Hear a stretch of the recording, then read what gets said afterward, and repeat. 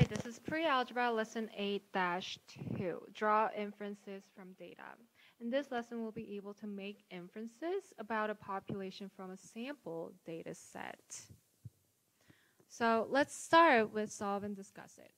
The students in Ms. Miller's uh, cast their votes in the school-wide vote for which color to paint the cafeteria walls. Based on the data, what might you conclude about how the rest of the school will vote? So votes for new cafeteria color is shown here. Um, you can see the bulletin board with the sticky notes with the colors. And so uh, the colors represent that color uh, which students want the cafeteria walls to be painted with. So let's count the votes. How many do we have for greens? One, two, three, four. So four greens. And what else do we have? Yellow. One, two, three. Three yellow. And then uh, orange. One, two, three, four. Four orange. And let's see, blue. 1, 2, 3, 4, 5, 6, 7, 8, 9, 10, 11, 12 blues. And then we have red. 1, 2, 3, 4, 5, 6, and 7 red. Do we have any other colors? 12 blues, 7 red, then 4 green, four orange, three yellow. Okay, so what can you conclude about them? Well, we have some data here, but it's it's for Miss Miss Miller's class, right? So if the rest of the school votes like Miss Miller's class, then which one would be the most vote? Which one would get the most vote? The blue, right?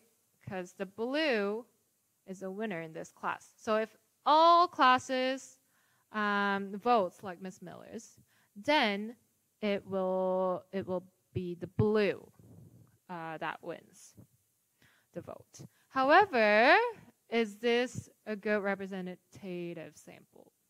It may not be, or it could be, but it may not be because it's not a random sample. So let's um, look at Armando's work. There are 12 blue votes, 7 red votes. The remaining votes are 4 green, 3 yellow, and 4 orange. If the rest of the school votes like Miss Miller's class, then blue will get the most votes in the school, and red will come in second. However, this may not be a representative sample because it is not a random sample. Good. So how many students are in Miss Miller's class if everyone voted? 12 plus 4 plus uh, another 4 is 20, 27, and then 3, so that's 30. 30 students are Miss Miller's class. How many students voted for each color? And those are those are our numbers. Okay. And so let's look at focus on math practices on the bottom. How can you determine whether a sample is representative of a population? How do you determine if it's representative or if it's not a good representative sample?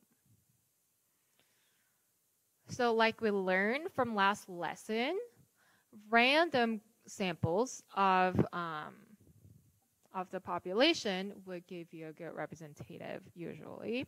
Um, there are other ways too. So how can we find a random sample in this situation? You find different random uh, samples of samples of the same size and then compare them to see how different they are from one another. Representative sample will be similar to other samples of the same size selected randomly from the same population. So instead of just letting peop- uh, letting the students in Miss Miller's class vote, uh, just like we learned, um, you know how we learned the steps to find a representative sample. um, in the last lesson. We're going to follow that step and and give a number, a unique number for all the people in that class or all the people at school because everyone at school is going to vote, right? And then and then um, you just select the random numbers to select random samples from that population. That could be one way. Okay, let's look at the next page. So the lesson essential question is how can inferences be drawn about a population from data gathered from samples? So now we're going to start making inferences. Inferences are any opinions or conclusions that we can infer, that we can uh, assume from the data. So let's look at example one. Draw qualitative inferences from data. Sasha is trying to convince her mother to change her bedtime on school nights. She gathers data on the average number of hours of sleep but that a random sample of seventh grade students in her school get each night. Will Sasha be able to convince her mother to let her go to bed later? So let's look at um, her data. On school days, her bedtime is 9 p.m. and her wake up time is 6:30 a.m. and she uh, sleeps nine and a half hours. So that's an average number of hours of sleep um, from a random. Wait, Yes. So this is an average. Wait. This isn't. This is her hours of sleep. So now, um, if she gathers data on the average number of hours that a random sample of seventh grade students in her school gets each night, if it's less than this, less than what she normally has, um, maybe she could argue that she could go to bed later instead of 9 p.m., right? If the average would be 8, then maybe she could convince her mom to um, to for to adjust her bedtime to 10 p.m. You know, so step one, she's gonna display the data she collected in a dot plot. She describes the data. So there are different, there are various answers from this question. And um, she created a dot plot from her data. About half of the dots are clustered between 9 and 9 and a half hours.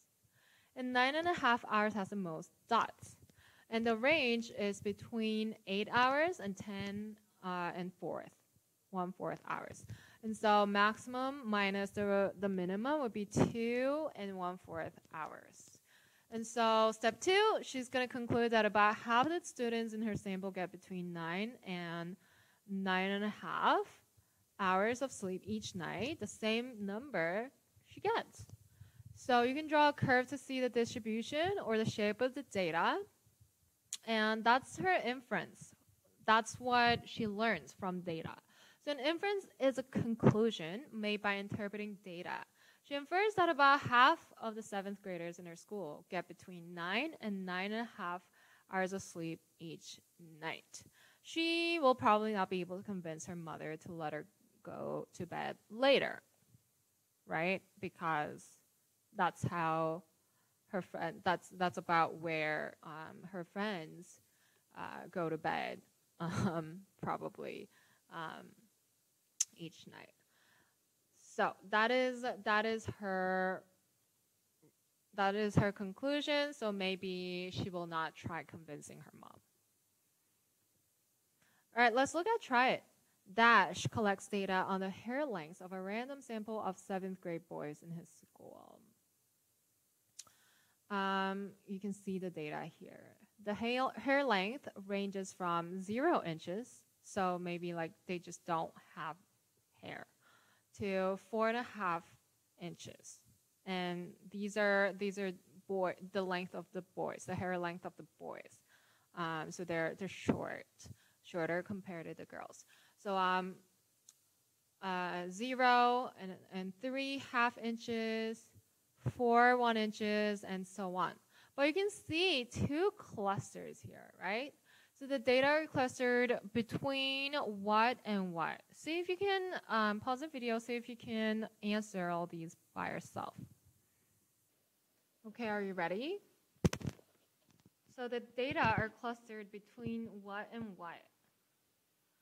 A half and two inches and between three and a half and four and a half inches.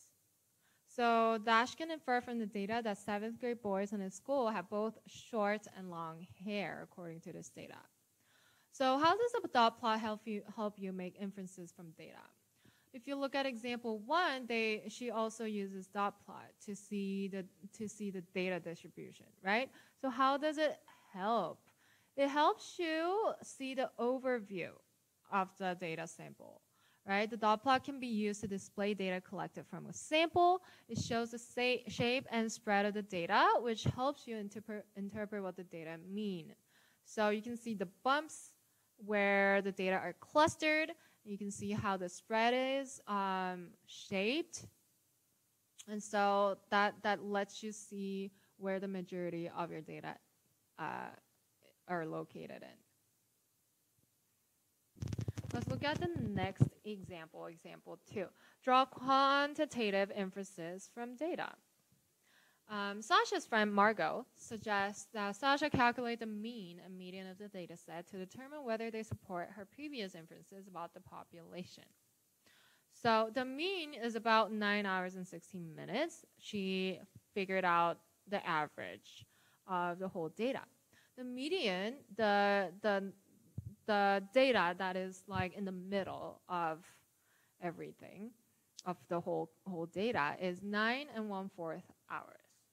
So an inference is valid if it's based on a representative sample and there are enough data to support it.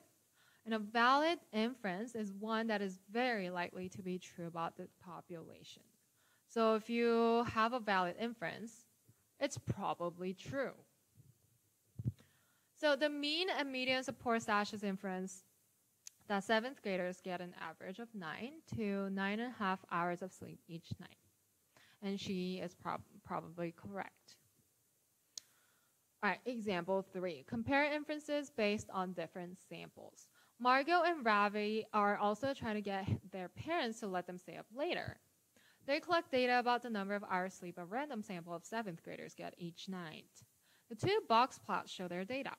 Did Margot and Ravi's data support Sasha's inference about the number of hours of sleep that seventh graders get?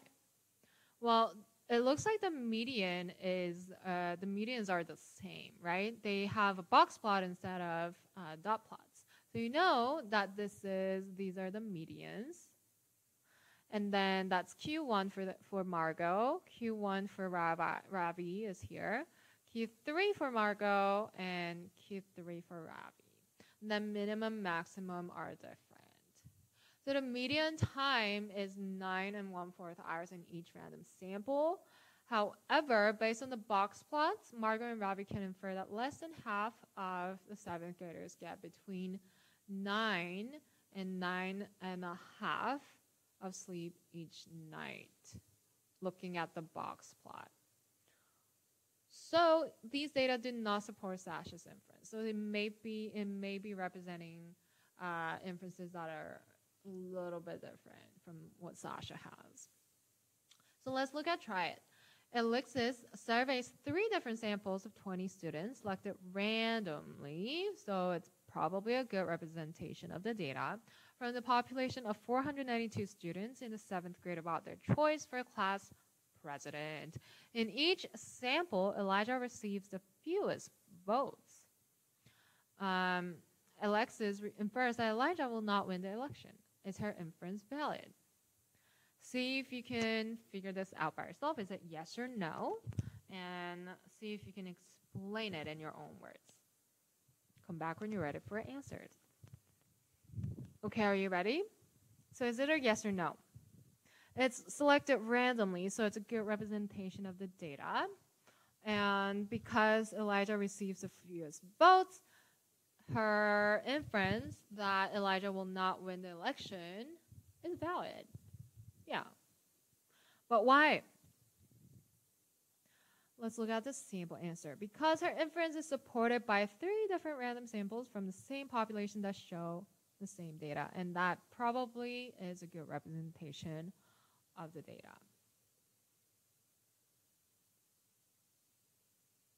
Three different samples um, that are selected randomly. So it's not just one set of data, one set of 20 students selected randomly, three different uh, samples of randomly selected students, 20 students each. So uh, the more, the more, uh, the more group or the more different samples uh, you have, which are randomly selected, it gets your data gets strong. Your data gets stronger and stronger, and you can make stronger inferences. Okay, let's look at the last tried uh, last example, example four. Make an estimate from sample data. Derek is writing a report on cell phone usage. He, clicks, he collects data from a random sample of seventh graders in his school and finds that 16 out of 20 seventh graders have cell phones. If there are 290 seventh graders in his school, estimate the number of seventh graders who have cell phones. And now we're going to use proportion to figure this out, right? So we're going to solve, write and solve proportion to estimate the number of seventh graders, C, who have cell phones. So seventh graders will cell phones and sample would be 16 out of 20. And if that is a good representation of the population, um, the number of seventh graders in school being 290, we can make a proportion that is equal to to that, 16 over 20, and figure out what C is, which represents seventh graders with cell phones in the school.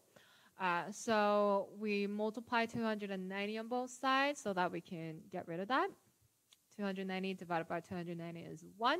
So you get C, 1C, which is just C, is equal to 232.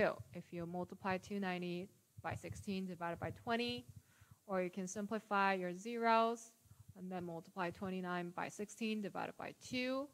Or you can also uh, divide by 2 first, and then you multiply 8 times 29, that's 232.